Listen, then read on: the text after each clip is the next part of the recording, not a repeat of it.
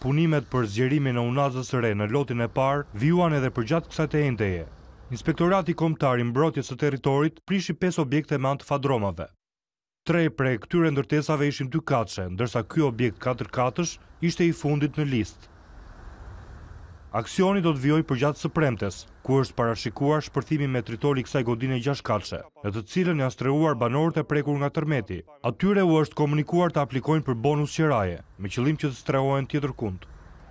Ndërkaq, me dhjetëra banorë nuk u lejuan të kalonin nga njëra anë e kordonit policor tek sheshi Shqiponja për në anën tjetër, pasi ky segment për afro pesëqind metrash ishte i bllokuar si për këmbësorët ashtu edhe për automjetet.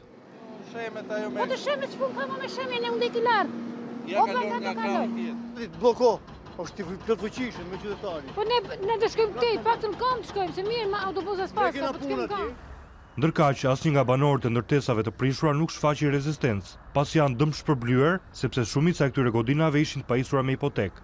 Situata e krijuar shkaktoi kaos në trafik, pasi për katër orë e gjysmë nuk u lejua të kalonte asnjë automjet. Pas mbarimit të punimeve, të dyja krahët e rrugës u liruan.